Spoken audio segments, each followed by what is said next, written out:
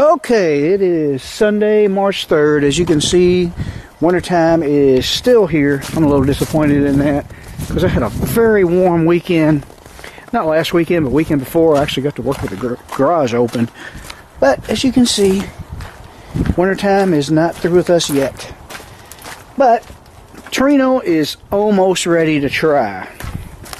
Uh, stayed pretty busy on, on it all day actually all weekend doing something that I didn't think would take me almost the entire weekend. By the time I had to run to the hardware store and get some stuff, it pretty much did. We uh, got the uh, 3 8 steel hard lines run to the transmission, got my cooler remounted. Uh, I kind of like the way this part turned out. Uh, I used my, well, I don't have my, I got a Summit flaring tool. I was going to show to you. I've already put it away. But it works really nice. I need to make a video on using it because it does a really good job. the only rubber connection I got is on these rubber lines here. And this out here, I'm kind of happy with the way that turned out. It really cleaned things up. I need to hide that wiring. Actually, I have a lot of wiring I want to hide on this car. But um, I moved the cooler away from the radiator just because it's a lot easier to get your lines on. And if you want to remove the radiator you don't have to fool with that. It just stays where it's at. But I'm happy with the way that turned out. If I can find a flashlight. Underneath it turned out okay. I mean it's better than what I had. I had steel braided lines which looked okay but they were rubber. And I was kind of worried that the heat was causing them to close up, so that's why I went why I went with hard lines. Got a connection right there, and this bend here that didn't turn out exactly the way I wanted it, uh, but I was thinking it would look a lot better if I were to make a holder. I don't know how well you can see. It's dark under here. I need to turn on a light. Hang on a minute. Okay, got a nice bright light. As I was saying, this will look better. I'm thinking about making me some sort of holder that would separate them. If they were spread apart like that, they would look a little bit more uniform there. Like I said, this bend here, that didn't turn out the way I wanted it, but it's pretty much, I'm going to have to live with it, and it is under the car. But I think if I were to separate them with a holder, that would be okay. Okay, I know it's hard to see, just showing you what all it looks like underneath and it turned out pretty good, I think. Not bad. Not as perfect as you, as you always visualize when you want to custom make your transmission lines or fuel lines or whatever. But um, it's really hard to bend that hard 3 8 stuff. This here, probably a holder right here, will make that look a little better. And that one's a little closer to the header than I want it to be. I am going to uh, order me some thermal wrap to protect this from Pete, and I may wrap it around the line too. Same goes for this spot right here, as you can see, right next here. And here are the headers painted on the car, as you can see. I still need to put the exhaust on.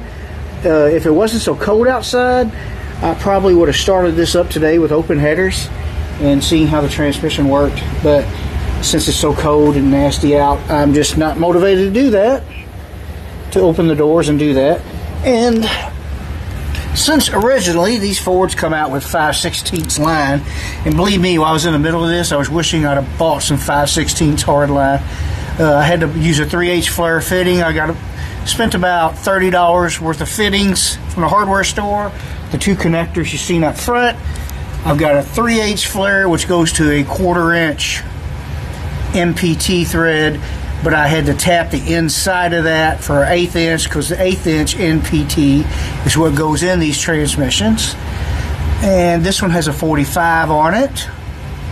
And this one is just a, if you can see it, probably can't, maybe you can if I do that. There it is. So that's what it looks like underneath. I'm gonna, I'll probably do a little tweaking and bending. Maybe hopefully to get that a little further away from that pipe, but um, I'm kind of happy with it. If there's any rattling, I will deal with that once I get it running. And like I said, the exhaust has some leaks. I'm going to fix that hopefully next week. And I ran into uh, a hassle on the driver's side header. Had a stripped out exhaust bolt, 3 8 16 thread, and I ended up running a 7 16 14 tap. And that I spent most of the week, couple hours every every day after work dealing with that because I put it on, realized uh, that bolt was not going to hold the thread. Had to take the headers back off and stick a tap down in that tight place right there, and it took me a good hour just to get the tap in and out because it was just really slow going. Had to stick it in there and put a wrench on it. But I kind of like the way that turned out there. That's probably the best part of it. This um, trans cooler, I'll make it look better. I'll straighten those fins out. And um, gotta put my coil wire back on it. Oil is changed. The new filters on it. It's uh, almost full of transmission fluid, but hopefully I'll be starting this and uh, if we get some decent weather I can do a video of driving it. I will show you how it turns out. And since I didn't film any actual work, I guess I'll do a cold start of the 66 F100. Hasn't been started in two or three weeks. Oh, it is so cold out. I don't even have a jacket on either. Let's see how the 66 F100 starts up. We'll end the video with that. As you can tell, I haven't been in it. Had to yank the door open.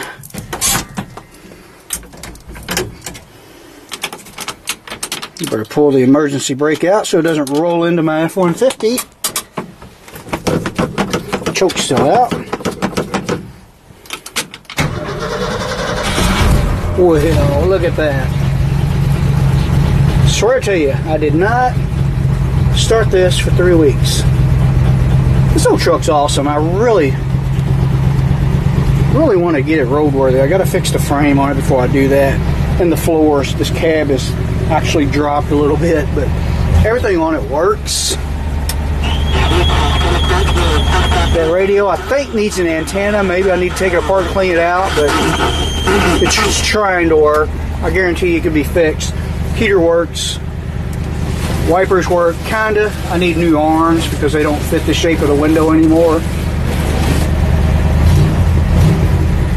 But anyway, hopefully next week weather permit, we'll drive the tree Torino. And we got to get the black car out of the trailer. I got a small coolant leak. I think it's just a radiator hose or something easy. And let's hope the weather acts normal this year and we can do some racing and having fun with all this other old stuff. Thanks for watching.